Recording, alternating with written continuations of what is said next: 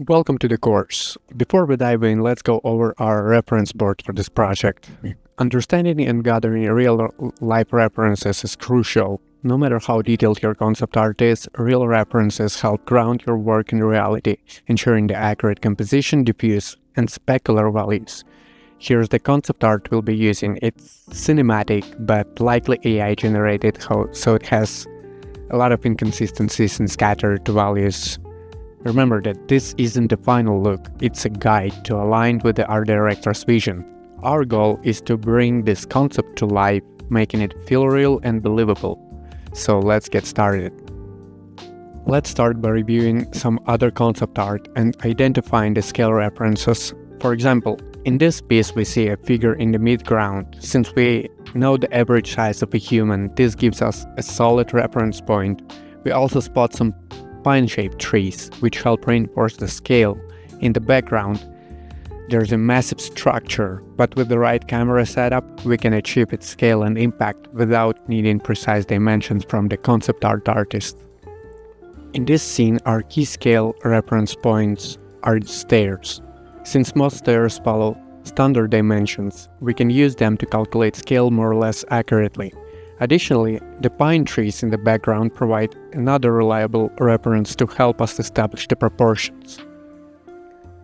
You can apply these methods to almost any concept art to establish your shot more accurately and create a grounded, realistic composition. So, and back to our main concept art, um, this is the scene that we're gonna try and recreate. Um, you can see the hot spot in here is of course the sun and you can see how everything in this composition kind of leading the eyes toward that hot spot. So it's, it's a nice composition and uh, yeah, let's, let's recreate it. So I already marked some something on top of it we can see some template in here. Uh, on the other side, there's a huge house. Maybe it's some lord lives in there. There's that tree. Uh, for the scale reference, we have one or two story buildings all over the place, so it helps a lot to understanding the scale.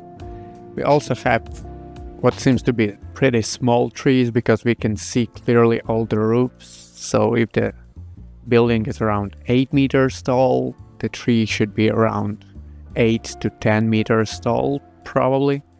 Well, something around that. Um, and yeah, as you can see, we have a lot of buildings, so it's easy to understand the scale. We can see some bridge on the background, we can see some rice fields, um, some trees on the far background mountain line don't make any sense because those should be very huge to be visible like that but this one here is okay. For this scale uh, we can see some smoke to help break up the scale and boring look of the mid-ground.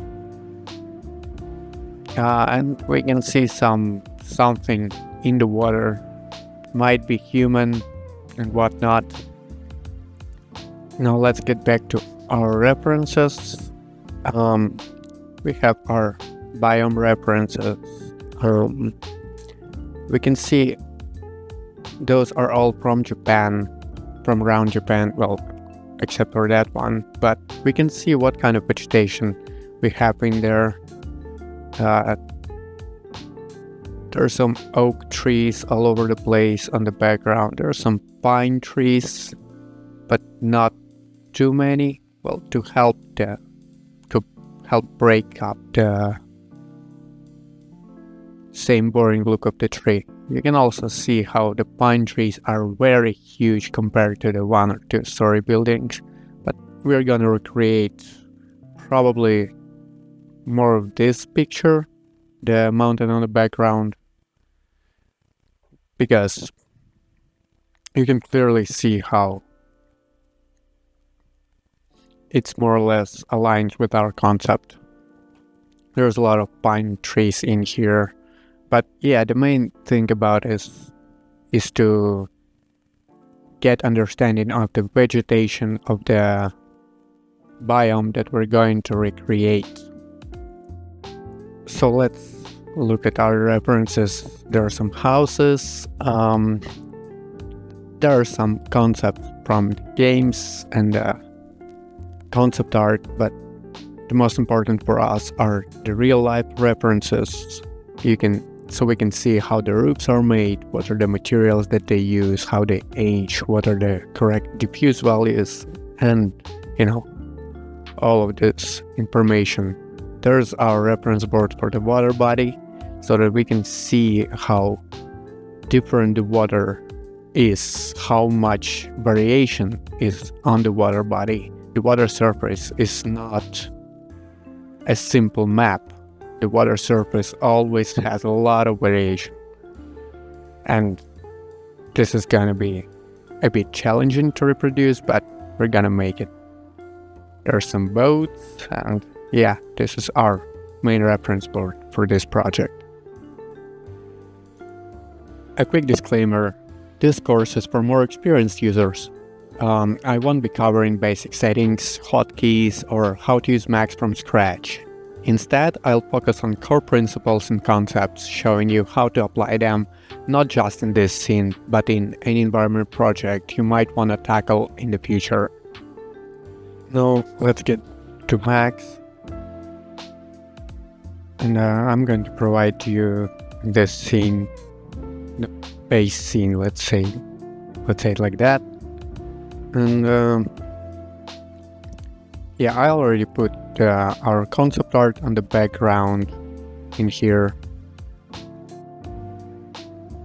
There's a camera, some building, a human for the scale reference. There are three spheres in it with a gray, white, and a reflection material yeah, the most important for us, the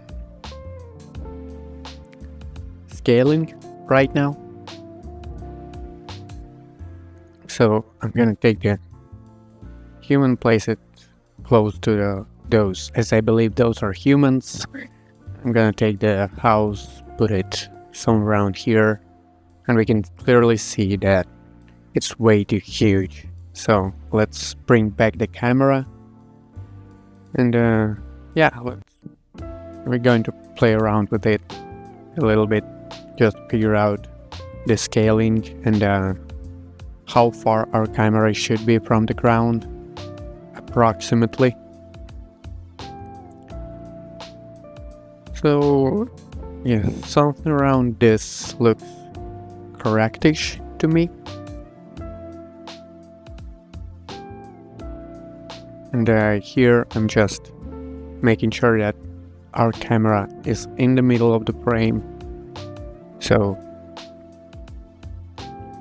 our reference objects are also somewhere in the middle, but those are just the references. Now for the lighting, I already put the V-Ray sun in it. Let me just turn off the sky map and uh, we can see the position of the sun over here and uh, if you bring the background if you bring our concept art as a background we can see that the sky posi- uh, that the sun position some somewhat matches the background and yeah here are basic materials of white gray and uh, reflection sphere so we can kind of check the values of the exposure. The mid gray and white. The white shouldn't be overexposed as, as of right now. So yeah, this is our base scene.